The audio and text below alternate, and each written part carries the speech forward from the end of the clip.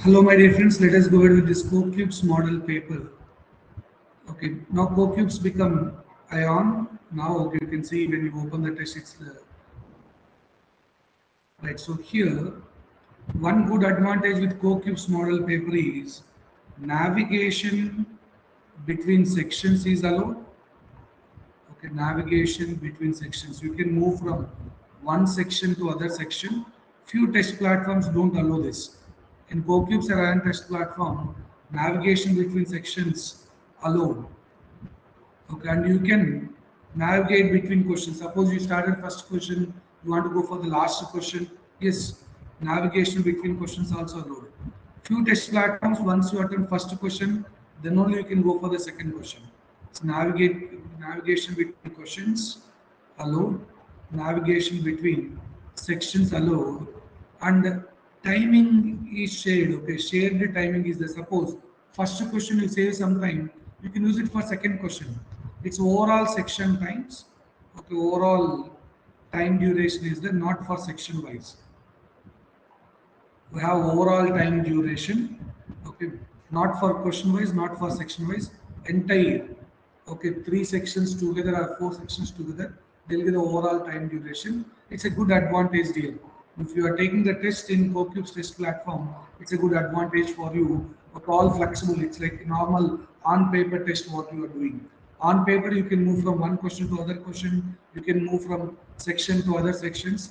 Like that, there is a good flexibility in CoCube's test platform. Now today, we'll focus on the previous questions or model of questions which they are asked in CoCube so that you will get the better idea before taking the test, my dear friends. And majority of the companies, they're using now CoCube's test platform to conduct their assessment test. So, and CoCubes is linked with many MNCs, right? So getting good score in Co as early as possible. Right now, see, flow chart concept, my dear friends. Okay, flow chart, you can see in reasoning. Okay, generally two questions we can expect in reasoning from flow chart. The topics whatever you mentioned, you need to focus more on this area. Reasoning, around two questions we can expect from flow chart. Right. Here, if you observe the question, my dear friends, you can pause the video, try to solve the question, understand, then you can play the video. See, here you have 10 boxes. Each box is having certain value, right? And they given certain steps. This is a part of the flowchart, not full flowchart. 3. Then here, okay, remaining steps are given, right? Then they'll ask questions related to that. At the end of entire scenario, what is there in box 1? What is there in box 2 like that? They're asking the question. So guys, now let's see the first step, try to understand the first step they're given here. Go through the first step, What whatever they mentioned. So first step here is number in box 5, which is 13, plus number in box 10, which is 12, and then number in box 2, 25. We got 50, right? Adding all this. Now that should be replaced in box 6 we need to put this in box 6. Box 6 is actually 2, but now adding all these values, number in box 5, number in box 10, and number in box 2, we replace box 6 as 50. Okay, then number in box 6, is it greater than number in box 4? Yes. Okay, yes means we have to go for the next step. If it is no, we can skip and go for the last. So we have to solve the third step as well. See the condition. See the flow chart. How the steps are moving. Next condition is number in box 6 less than number in box 8. No right.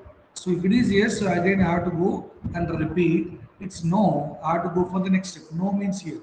Here yes we got, here no we got. We are moving to the next step. Third step completed, we entered here.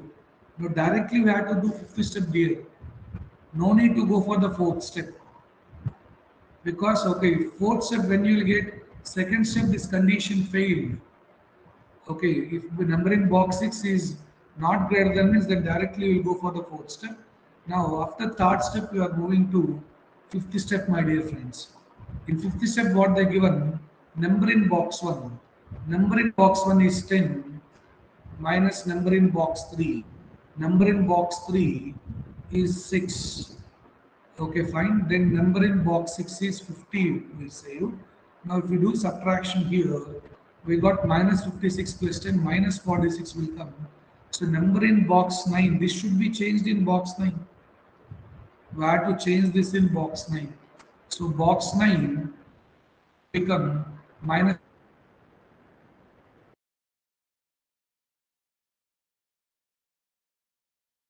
you can minus 46. Now at the end of the question, what they are asking, what number is stored in box 1 at the end of the flow chart? Box 1. Okay, we didn't perform box 1 anyhow. That is not changed because here box 6. Then after that first step, you went to second step. Second step condition true. Then we went to third step. Third step fail. Okay. Directly fifth step. Box 1 not changed. So box 1 10 is the same thing. They may ask you what is the number in box 9, box 6 at the end of the flow. Then his number 6 is greater than number in box 2. In box 2 also we didn't disturb anything. Box 2 is 25 now. Is it greater? Yes or no we have to say. If it is yes, we will go for options.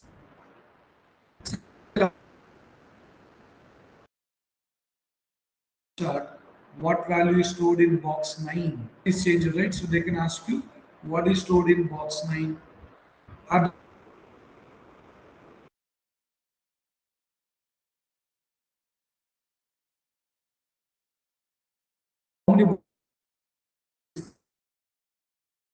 many questions, but you can find many questions in every here.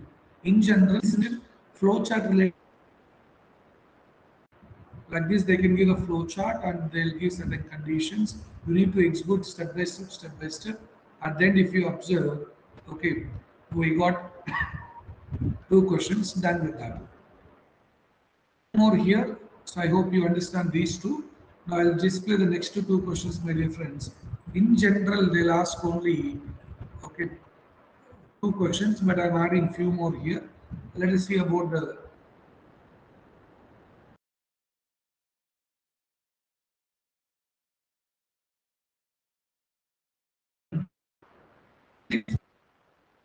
the third question, let's say they may ask you what is the number stored in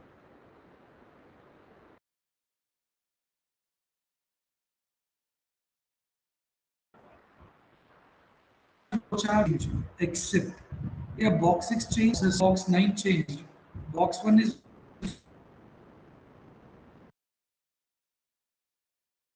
take the flow chart. Okay we applied for the given and we came to know we perform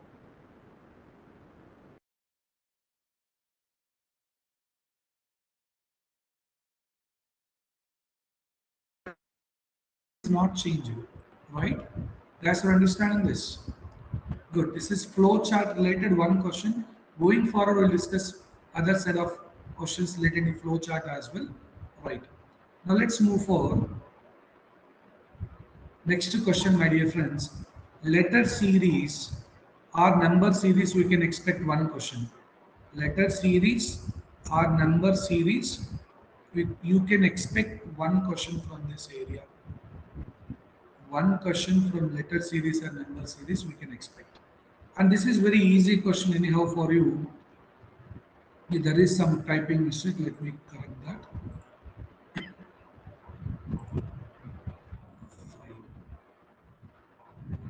And now you can see first two letters if you observe A, B, C, D, E, F, G, H, I, J, so first two letters should be I and J.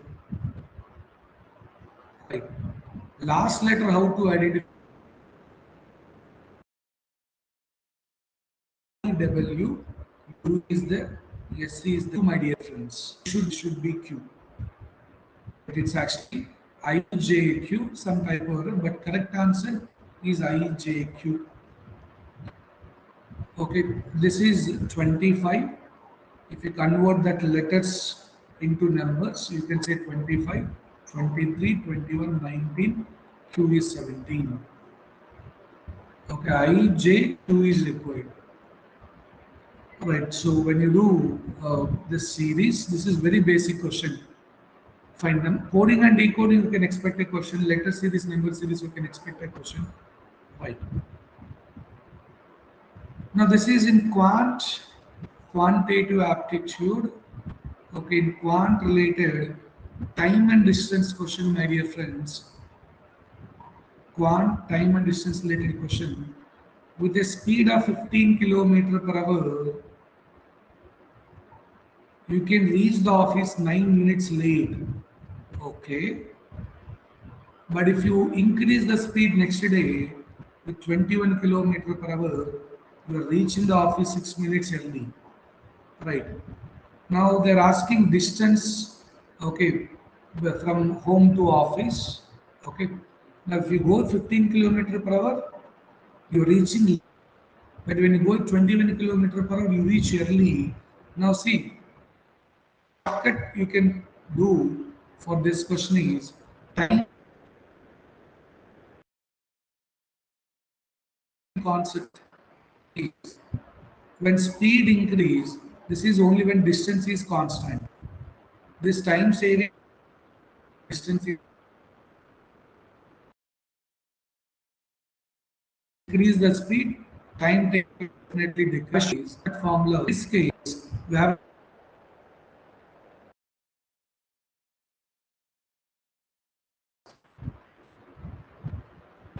speeds product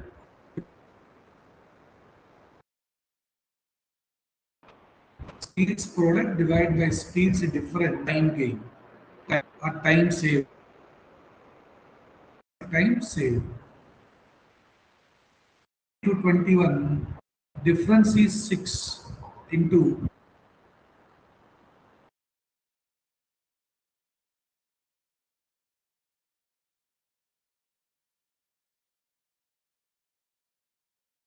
opposite poles will act 9 and 6 15 minutes you are gaining.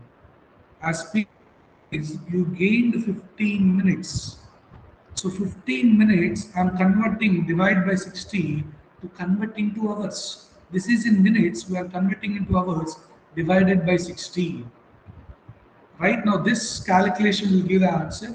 So 15 ones 15 fours 3 2 times 3 5 times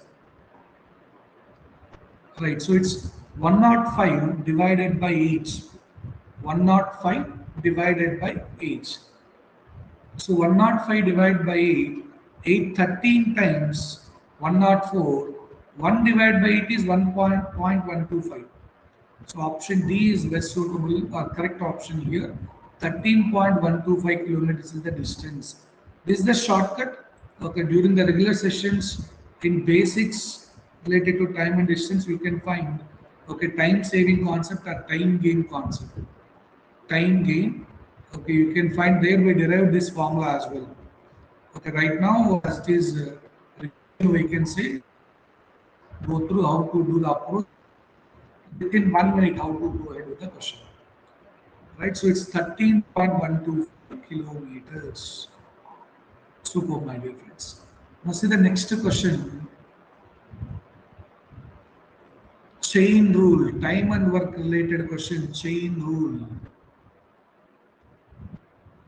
Time and work related, we can say it's a chain rule question. So guys, here they are time and work chain rule related stuff. Time and work chain rule related. So what is chain rule?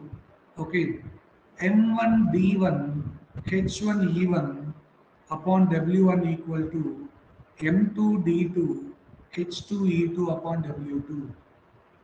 M is nothing but how many members, D is number of days, H is number of hours per day they are working, E is efficiency, E is efficiency.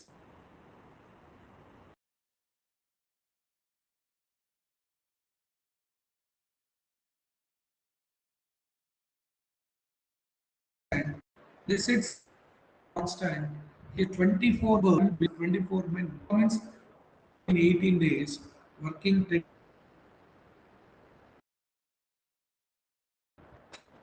days, okay, working 12 hours per day. Right, so right, 12 two times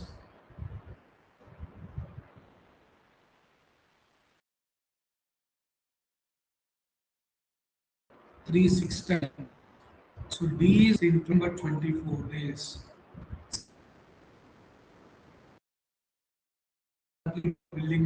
Wall. Right, so this is rule. There is two different groups. So people are doing like a number of people are hours. Per day. So this is how you can see your friends.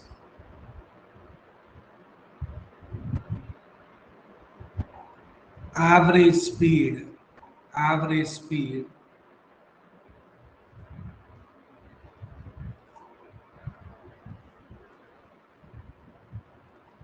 what is average speed if you recall in short we can say is average speed is total distance divided by total time.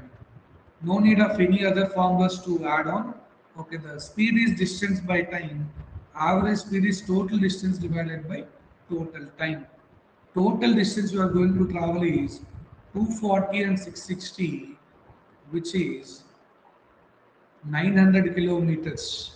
Total distance is 900 kilometers so timing is not given timing is not given directly not given directly but indirectly we have the timing you observe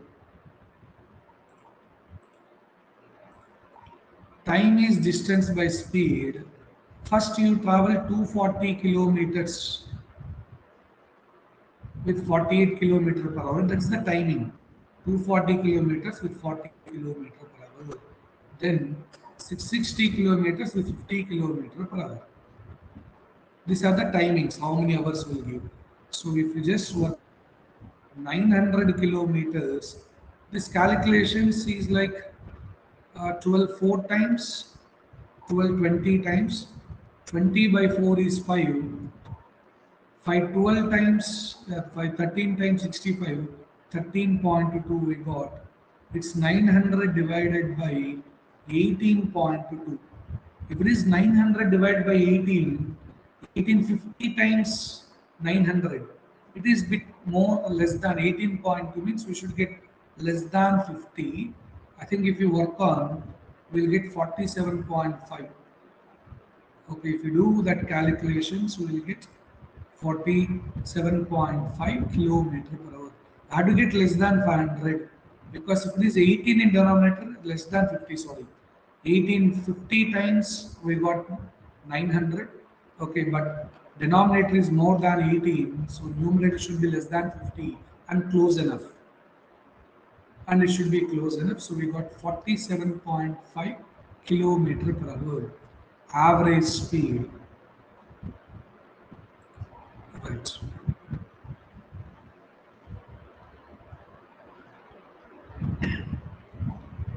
Calculations you can cross check. Fine, 13.2, 18.2. Good. So fine. We'll move for the next one, my dear friends. Among options, close enough is 47.5 uh, let's see the calculations in depth as well. Okay, this can be written as 9000 divided by 182. Fine, this is 91, this is 4500. Close to 50 we should get because fine, we can say approximately 50. It may be 49.5 it seems. I'm sensing it's like 49.5 close to that okay not too much difference it should, it should be close to 49.5 not be 47.5 seems